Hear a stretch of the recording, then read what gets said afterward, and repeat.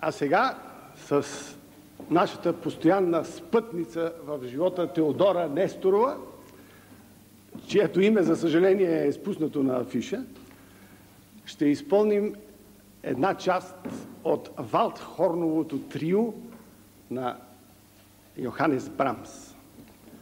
Разбира се, няма кой да свири на Валдхорна, затова именно Йосиф ще изпълнява партията на виолата в авторската транскрипция на първа част на това трио.